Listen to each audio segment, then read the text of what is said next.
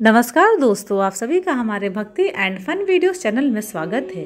आज आप इस वीडियो में जानेंगे कि आश्विन मास कब से शुरू हो रहा है और पंद्रह दिन होती है इसमें पितृ पूजा और इसका नियम और इसमें आप क्या करें और क्या ना करें। तो चलिए भक्तों, श्रवण करते हैं।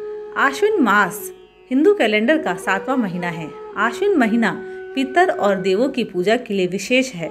आश्विन कृष्ण प्रतिपदा से अमावस्या तक पितरों के लिए तर्पण पिंड दान श्राद्ध, ब्राह्मण, भोज आदि किया जाता है। जानते हैं कि आश्विन माह कब से शुरू हो रहा है और आश्विन माह में क्या करें और आश्विन माह पितरों की पूजा के लिए समर्पित पितृपक्ष पूरे कृष्ण पक्ष में होता है। ये पंद्रह दिन पितृ दोष मुक्ति और पितरों की तृप्ति के लिए होते हैं। उसके बाद शारदीय नवरात्रि का शुभारंभ होता है। पितरों की पूजा के बाद माँ दुर्गा के नौ स्वरूपों की पूजा का उत्सव नवरात्रि, कलश स्थापना के साथ प्रारंभ होती है। इसमें विजयदशमी यानी दशहरा, रावण दहन, दुर्गा पूजा, दुर्गा विसर्जन होता है।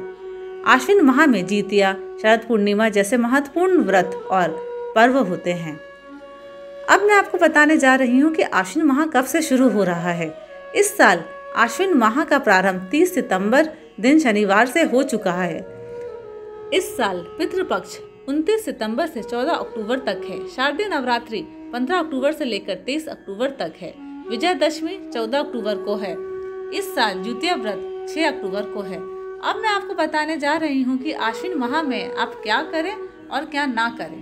पहला आश्विन माह धार्मिक और पूजा पाठ की दृष्टि से काफ़ी महत्वपूर्ण है, क्योंकि पूरा कृष्ण पक्ष पितृ पक्ष होता है और उसकी बाद की दस तिथियाँ माँ दुर्गा के लिए है। ऐसे में इस पूरे माह तामसिक वस्तुओं के सेवन से परहेज करें। मांस, मंदिरा, लहसुन, प्याज आदि न खाएँ। दूसरा, इस पूरे मास में बैगन, मूली, दूध, मसूर की दाल, चना, करेला, बासी भोजन आदि का सेवन नहीं करना चाहिए। इससे स्वास्थ्य संबंधी समस्याएँ हो सकती है। तीसरा, आश्विन माह में ब्रह्मचर्य के नियमों का पालन करें, असत्य ना बोलें और दूसरों से घृणा ना करें, दूसरों पर क्रोध ना करें। चौथा, इस माह में स्वास्थ्य के प्रति लापरवाही ना करें। इस माह से मौसम बदलता है, गर्मी कम होने लगती है और सर्दी का आगमन होने लगता है। अधिक ठंड और गर्म से बचना चाहिए। अब मैं आपको बताने जा रही हूँ कि आश्विन माह में क्या करें।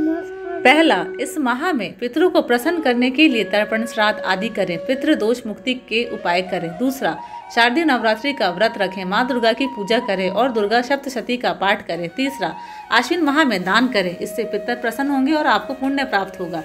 चौथा, आश्विन माह में गुड़ और गुड़ से बनी वस्तुओं का सेवन करना स्वास्थ्यवर्धक होता है। धन्यवाद। अगर आप सभी को मेरे वीडियोस पसंद आते हैं तो प्लीज़ लाइक, शेयर और सब्सक्राइब ज़रूर करें।